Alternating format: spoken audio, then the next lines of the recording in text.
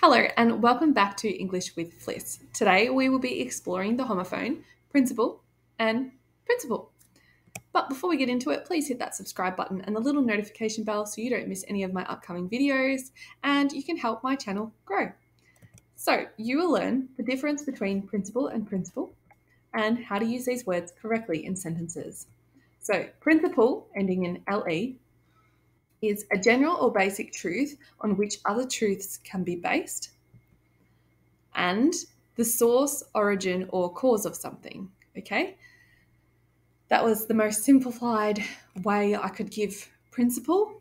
Um, like I've said in the past, though, if you can't remember both, so let's in this case, both principles, just remember one.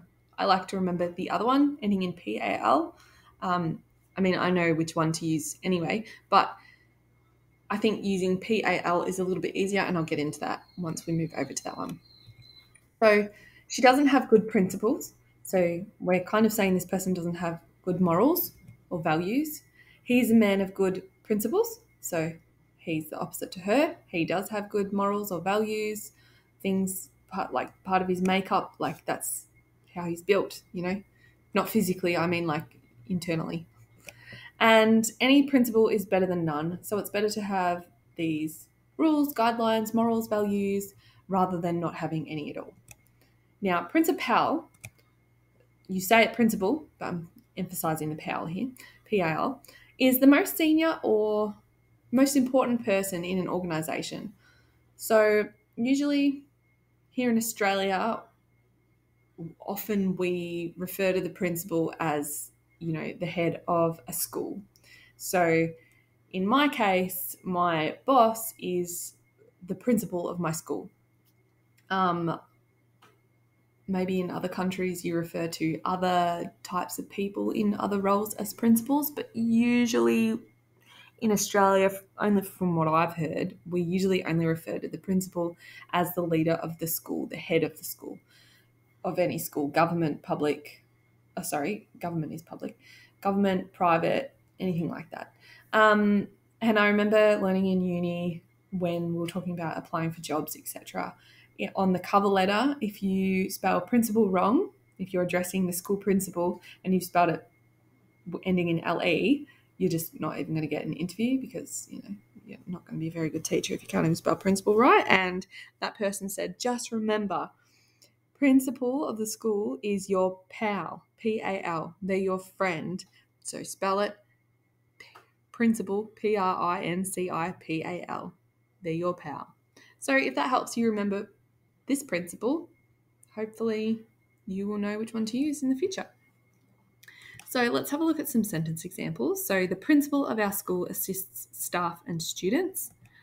The original amount of money you borrowed for your home is the principal amount and she has just been offered the principal position at school. So she's been offered the lead position at the school. The principal amount would be the original that you borrowed.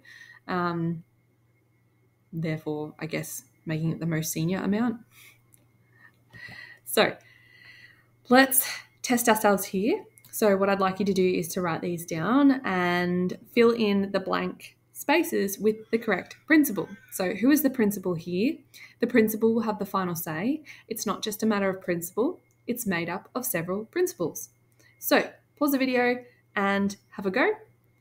Okay, so I hope you've paused the video and filled in the blank spaces with the correct principal. Now, let's check out which principal fits where. So, the first one is principal, so our buddy. who is the principal here. They're looking for the person who's most senior of the facility.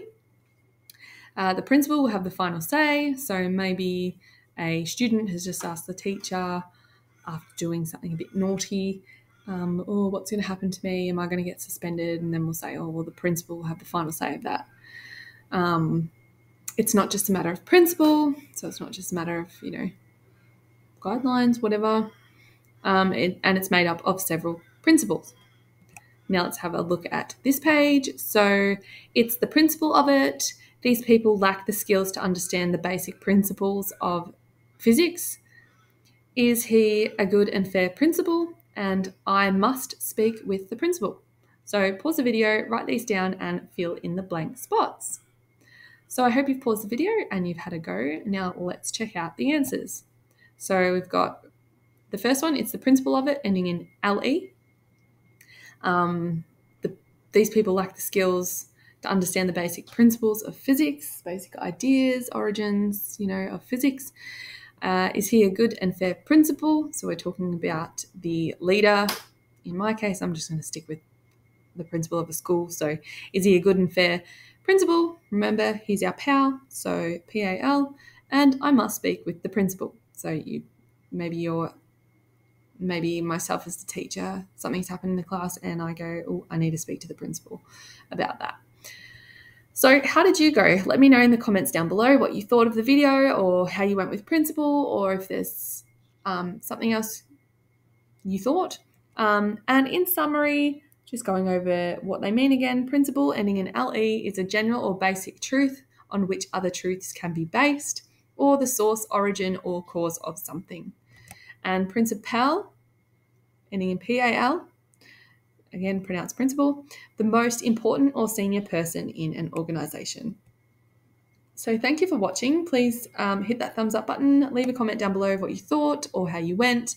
Um, maybe you have a homophone that you would like me to make a video on for you. And don't forget to subscribe to my channel to help it grow. Thank you, and I'll see you next time.